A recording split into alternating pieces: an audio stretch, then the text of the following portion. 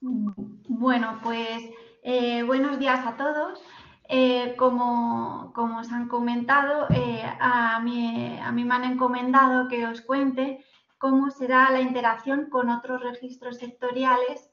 con el REA. Voy a compartir, no sé si se ve, se ve la presentación. Está cargando, sí, se ve, sí, sí. Muy bien, muy bien. Bueno, pues para ello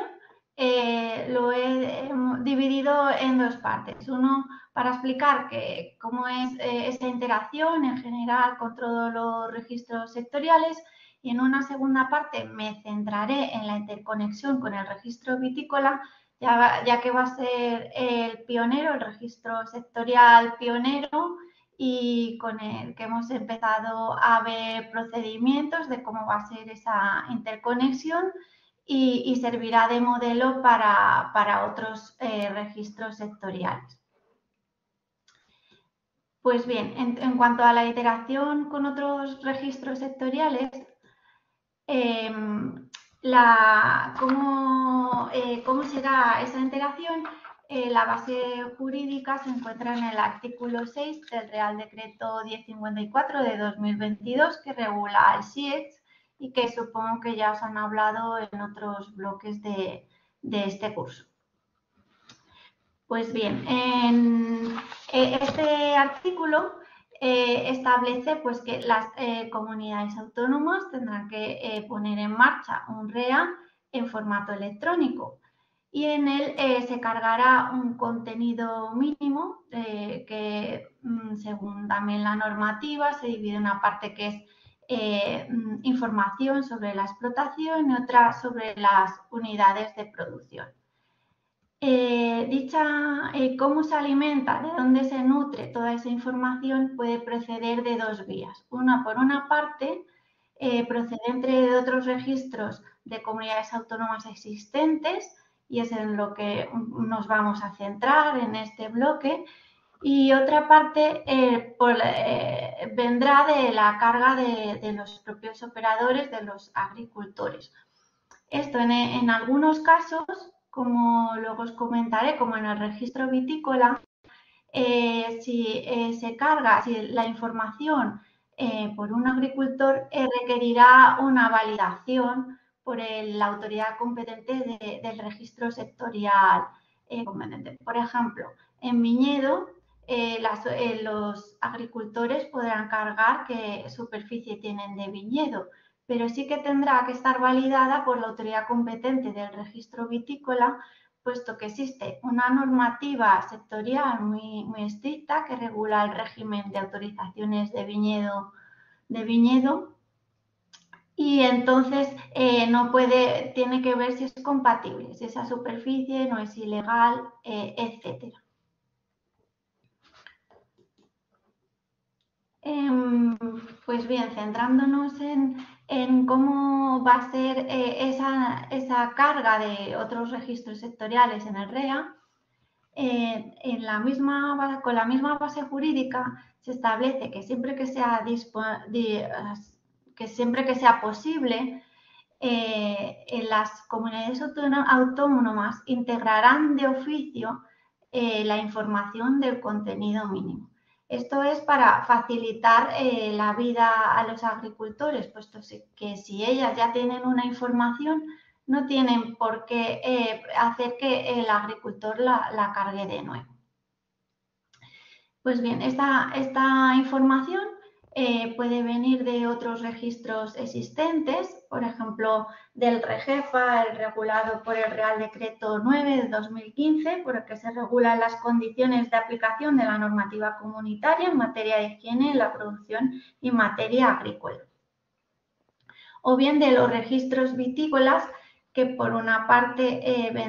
eh, vienen regulados en cuanto a las declaraciones de cosecha por el Real Decreto 739 de 2015 sobre declaraciones obligatorias en el sector vitivinícola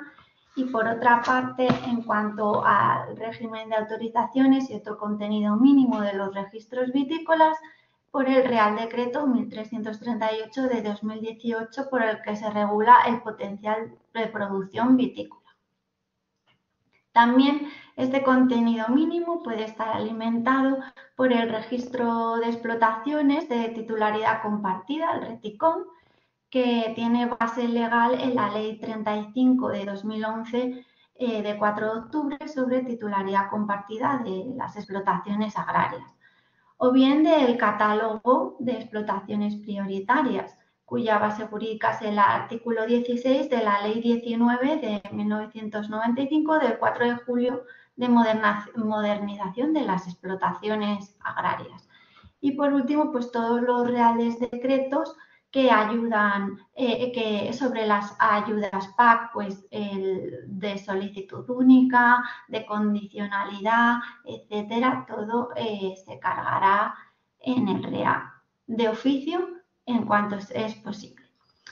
Por tanto, estos eh, registros se constituyen como una fuente primaria, como ha dicho ya Elena, y, lo importante es que ellos em,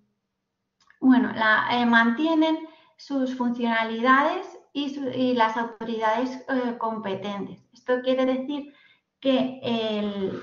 los agricultores en los trámites no tienen que ir al REA, tienen que ir a, los registros originales o a los que son fuente primaria.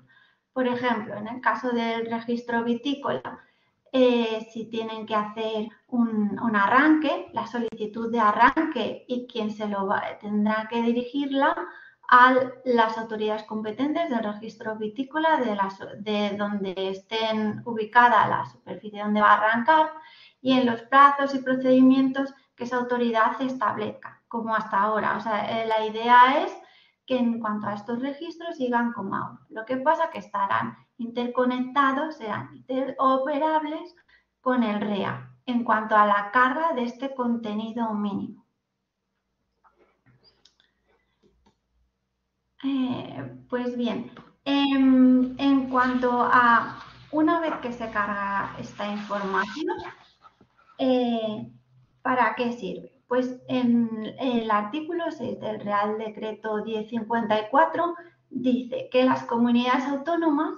tienen que poner a disposición del Ministerio de Agricultura, Pesca y Alimentación esta información. ¿Para qué? Para que viaje al SIEX y el SIEX sirva para los objetivos del artículo 3 de este Real Decreto que, mm, con, que creo que ya os habrán explicado que fundamentalmente son pues una gestión eficiente de la PAC para que sirva para la valoración y comprobación de solicitudes, la simplificación de la gestión de las explotaciones, disminuyendo la carga administrativa y, la orientación de, las políticas públicas, que no es menos importante, puesto que toda esa información servirá para diseñar mejor las medidas de política agraria, poderlas valorar y seguir progresando.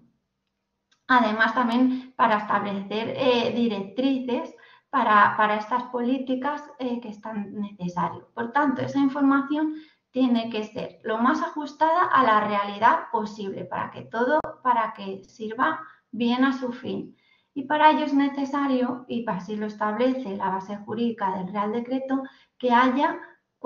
que se actualice cuatro veces al año. Aún no están definidos estos plazos, pues como ya habrán, os habrán contado, en todo esto estamos progresando y trabajando y se publicarán los plazos eh, mediante una resolución del secretario general eh, de Agricultura y, Alimentación. Bueno, pues esto en cuanto a una, las bases generales de cuál es la interconexión de los registros sectoriales. Eh, ahondando en, la interconexión con el registro vitícola, eh, a ver, la base jurídica para eh, que haya esa interconexión del registro vitícola y cómo va a ser el procedimiento se encuentra en la disposición final cuarta del Real Decreto 1054 de 2022 que modifica en el artículo 28 al Real Decreto 1338 de 2018, que es el que regula el potencial de producción vitícola en España y establece las bases para los registros vitícolas. Eh, no, solo es esta base jurídica, también, eh, como os hablaré después, también eh, cómo están, qué regula los registros vitícolas está en, los reglamentos comunitarios.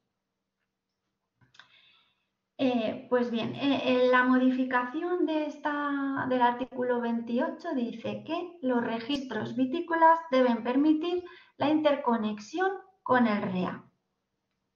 Entonces, para esa interconexión es que haya una interoperabilidad entre ambos, puesto que ya va a ser todo electrónico, se tiene que cargar automáticamente.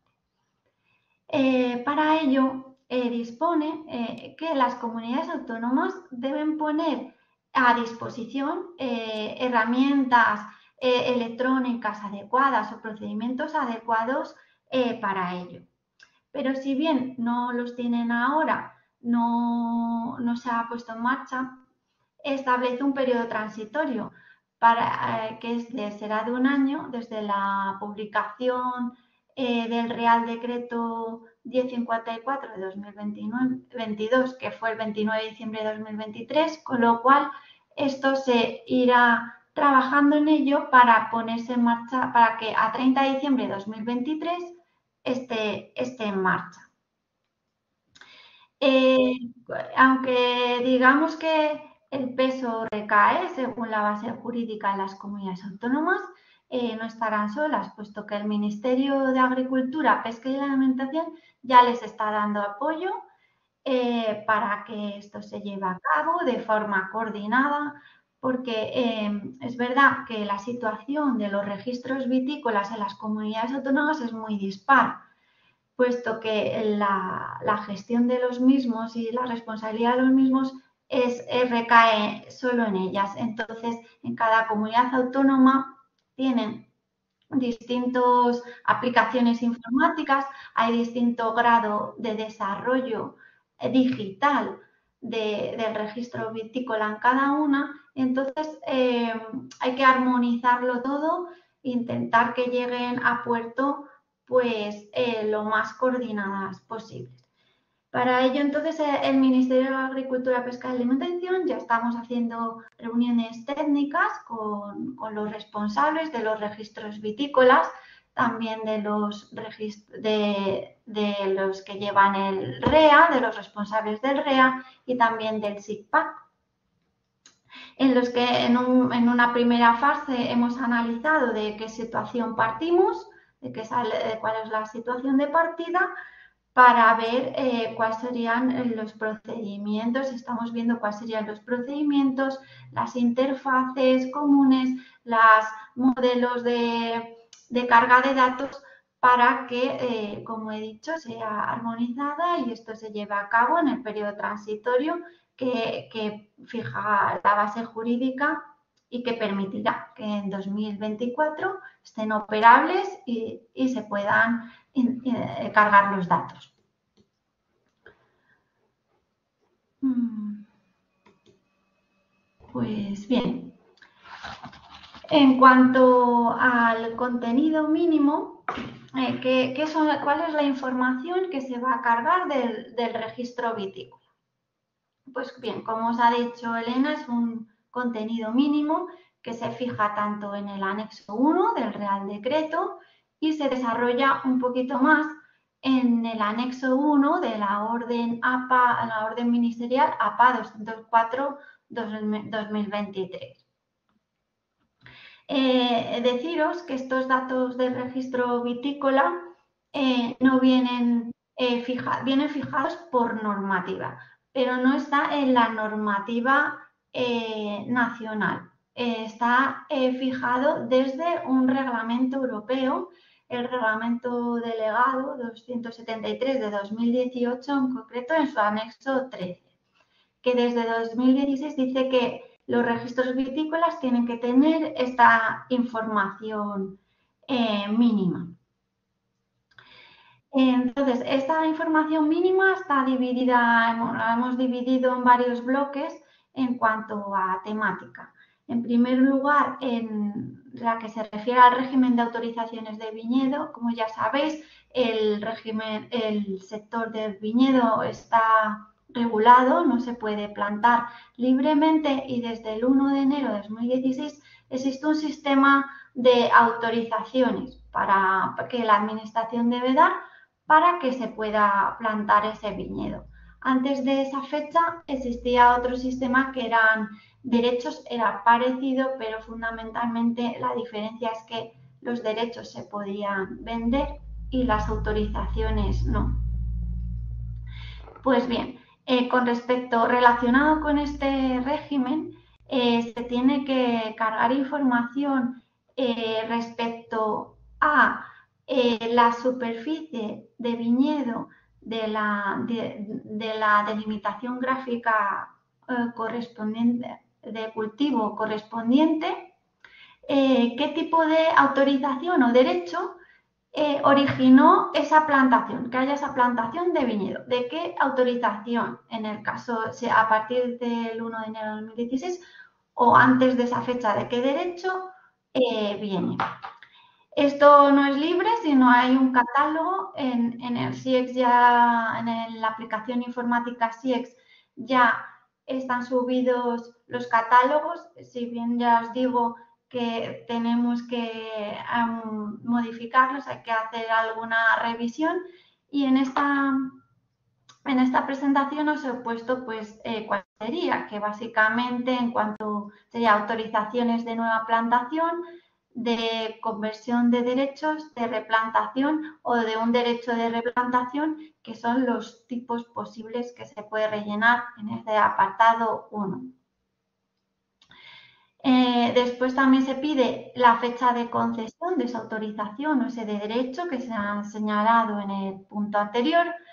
y también el tipo de superficie plantada de uva de vinificación, que vendrá también según catálogo, pero que aún no está desarrollado, por eso no os lo he puesto, pero que básicamente será eh, si es para destino, si esa superficie de esa DGC es para destino comercial, para autoconsumo eh, o es de plantaciones experimentales, de producción de viñas madre o de eh, conservación de recursos genéticos, que son, eh, digamos, los tipos que puede haber según el régimen de autorizaciones de plantaciones de viñedo. A ver, el siguiente bloque eh, también es muy importante porque se refiere a la información permanente del viñedo. En primer lugar, un, campo muy importante, el de código de parcela vitícola o unidad de superficie del registro vitícola. Este código eh, tiene su origen en que eh, la, eh, la delimitación gráfica en el REA es la delimitación gráfica de cultivo y en los registros vitícolas suele ser la parcela vitícola y no, y eh, puede que no coincidan. Entonces, para correlacionarlas se va a obtener ese código de forma que conteniendo ese código se carguen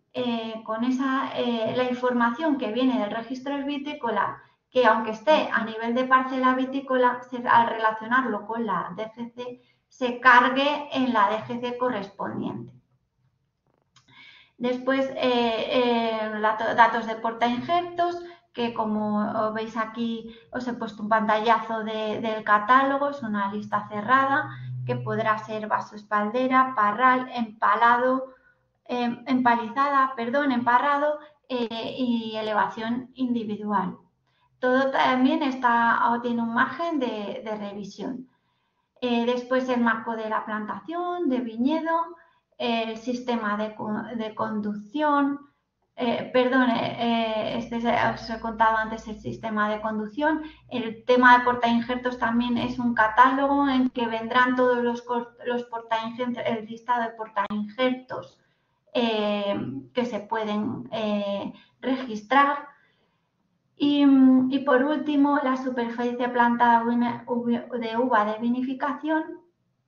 Hay que decir si esa superficie está ubicada en una zona para la producción de una DOP, de una IGP o en una, o en una zona que ni es de OP ni IGP, pero eh, está a lo mejor solapada con otra zona que sí, y ya si simplemente no está dentro del territorio de una DOP o IGP. El tercer punto, que es el más eh, difícil de entender, eh, quiere decir que puede que la plantación no tenga la variedad ni el portaingento que exige el pliego de condiciones de ninguna DOP o IGP, sin embargo está situado dentro de ella. Eso es lo que quiere decir. Las dos primeras sí que coinciden. El territorio está en territorio de DOP o de IGP y cumple las condiciones para producir esa DOP o esa IGP porque tiene la variedad, tiene el sistema de conducción que exige, etc. Eh, el siguiente bloque eh, se refiere a si esa superficie de viñedo ha recibido ayudas de eh, comunitarias. básicamente ayuda a la reestructuración de viñedo o a cosecha en verde, habría que decir el tipo, recogiéndolo del catálogo que viene en el CIEX y ya de paso indicar cuál fue el ejercicio en que se finalizó la operación de cosecha en verde o de, o de, mm, o de reestructuración de viñedo. Eh, por último, este bloque de datos del registro vitícola eh, tiene eh, su origen en, bien, tiene que venir de las declaraciones de cosecha, que están reguladas por el Real Decreto 739 de, 2015. Eh, con lo cual, este, la disposición final tercera del Real Decreto 1054 de 2022, el SIEX,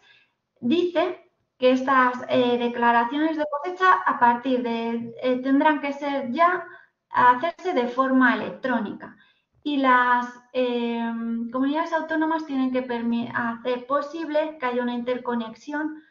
con el REA, de sus sistemas, de, sus registros de declaraciones de cosecha con el, SEA, el REA. Con lo cual, a partir del 10 de diciembre de 2023 se tendrá que hacer por este sistema y se tendrá que consignar la información que viene aquí, pues tanto la producción y cantidad cosechada, eh, indicando si es para vino con DOP, para vino con IGP, vino varietal, sin indicación geográfica u otros, y indicar además a los datos de la bodega donde va a ir. Esto es la información que venía, que se pedía en las declaraciones de cosecha hasta ahora. Es, solo el procedimiento que va a ser distinto. Y por último, en cuanto a contenido mínimo, eh, decir que eh, también este, esto o también me procederá de los registros vitícolas esta información, aunque no irá a nivel de, GC, de superficie, porque se refiere a datos de la explotación es de, eh, que habla de la superficie de vitícola potencial, es decir, eh, qué superficie tienen en cartera ese titular para hacer plantaciones de viñedo. Entonces, eh, este tipo, el tipo de superficie potencial podrá ser, pues, o que una tendrá autorizaciones de nueva plantación, autorizaciones de, replantación, autorizaciones de conversión o derechos de replantación para poder plantar. Deberá indicar qué superficie de esos tipos hay y en qué provincia, para qué provincia los tiene y si eh, están destinados a una DOP, a qué DOP. Y bueno, pues, pues esto es todo.